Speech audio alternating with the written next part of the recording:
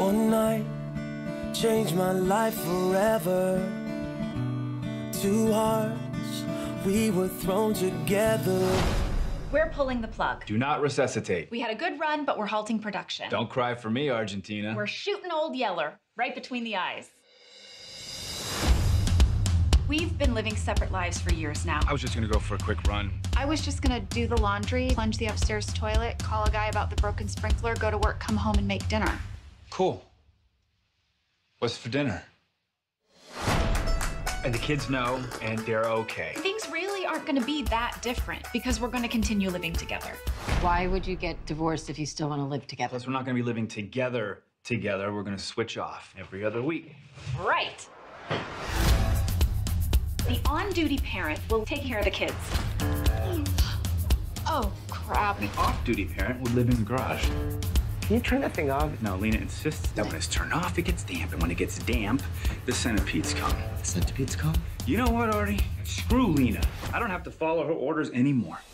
Let's talk about your huevos and why they might be hurting. Mom, You didn't fling them around in some weird way, did you? maybe we should consult Dad. Martin! Did you turn off the dehumidifier? Yeah, I feel like you've been exaggerating this whole centipede issue, and I haven't seen any. I can't just focus on the kids anymore. I have my own needs. I need romance and sex in my life, and Martin just doesn't. Excuse me? Uh, I'm looking for Martin. Oh, um, he's just around the bend there. Thanks.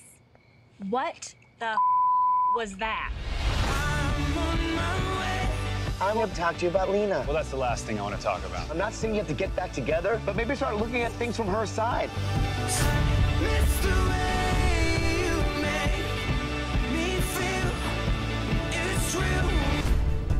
Your son is perfectly healthy. He's just going through puberty. I'd like Mason to try masturbating. Please don't hesitate to call if symptoms persist. My cell is on there. Are you sending out vibes? Vibes? I admit it. I don't want Lena dating again. I want her back together with Martin. I can't wait to. The doctor said he needs to masturbate. Is that Ruth Bader Ginsburg? Yeah. Yeah, I really don't think she'd appreciate this. I was a good mom and a bad wife. I feel like I was a bad partner. Well, at least you were in great shape. I am in great shape. Is it okay if I need you occasionally? I have waited our entire marriage to hear you say that.